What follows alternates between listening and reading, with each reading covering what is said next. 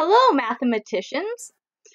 We are going to start our first math lesson with a game. Now, this game has a simple concept, but it's a little trickier than it looks. What you need to do is take a deck of cards and lay out 20 cards. Now, you want to either remove the face cards, so the ones that have the faces on them, or count those ones as zeros. Your aces, the ones with the A's on them, are ones. So every time you see an A, you just imagine, hmm, that's actually a one. And I have one right here. Yeah, these guys are ones now. So, now if you don't have a real set of cards, that's totally fine. I just um, Googled virtual deck of cards, I can send you this link to the virtual deck of cards that I'm using. What you are going to do is try and remove as many cards as you can. Hmm. But there's a rule for how you need to remove the cards. You are going to remove two cards at once, and those two cards have to equal 10. So, you want to find all the pairs, all the groups of two cards that add up to 10. So let's try that.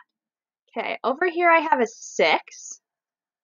Okay, 6, 7, 8, 9, 10. Okay, so I have 4 left.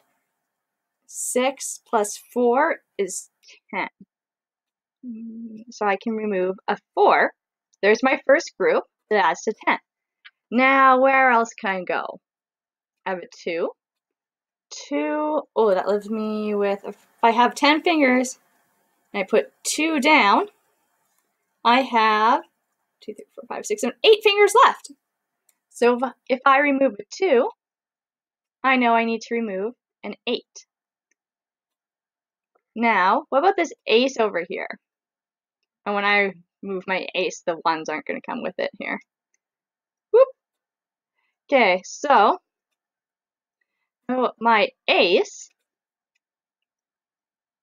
is a 1. Hmm. Let's see if I have 10 fingers up and I take away 1 because I know that my ace is worth 1.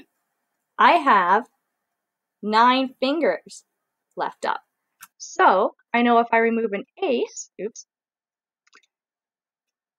I also need to remove a 9 for it to equal 10. And look, I have another ace here and another 9 there. Okay, let's try that again. And what about this 3? This, I'm going to take my 10 fingers and I'm going to remove 3 of them. One, two, three. How many fingers do I have left? One, two, three, four, five, six, seven. So when I remove the 3, I also have to remove a 7. Okay, so this game continues until you removed as many pairs as you can. Let's see. I have a 5. Oop, I have a 5 and I have another 5. Over here. 7 and... Ha! Okay, and these last two, 9 and 4, 9, so 9 plus 4, 9, 10, 11, 12, 13, do not equal up to 10. So, I cannot remove them. So I finished the game with only two cards left out. Now, try playing this game, and later we're going to add some things and make it a bit more complicated. Have fun!